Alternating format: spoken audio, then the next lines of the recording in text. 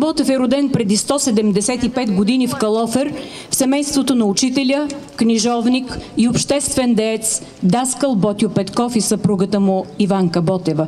С кратка история за великия поет и революционер Христо Ботев започна честването на 175-та годишнина от неговото рождение. Ботев е една от именитите фигури в българската революционна дейност, литература и публицистика, поет и бунтовник. Оставя трайна следа в предосвобожденската история на България. Става войвода на чета от 200 храбри момци и избъдва своята молитва да загине за свободата на Отечеството.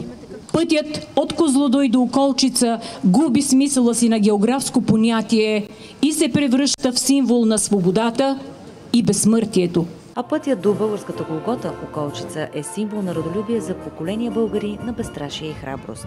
Загинал само на 28 години, а толкова мъдър и проницателен в младостта си.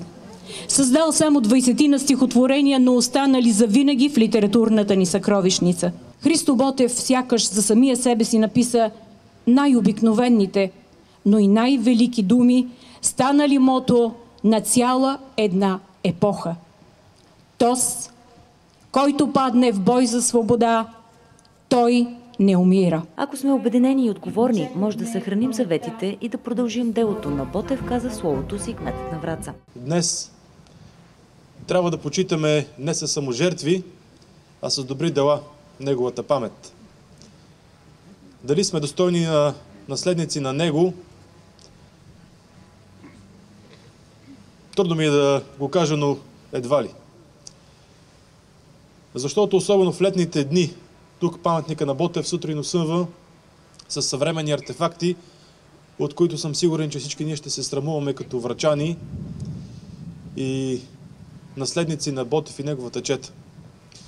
Затова, скъпи са граждани, наша отговорност днес е да научим децата си и внуците си кой е Ботев и защо е толкова важно да пазим паметта му, неговия паметник и всички артефакти, свързани с неговия живот, с неговата гибел.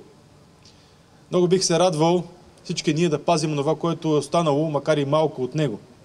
Да го почитаме и да го надграждаме. Но това зависи от нас. За да станем много по-горди от това, че сме наследници на Ботев и неговите последователи. Затова ви пожелавам да бъдете здрави и отговорни. В знак на признателност венци и цветя поднесоха институции, народни представители, общественици, ученици и граждани.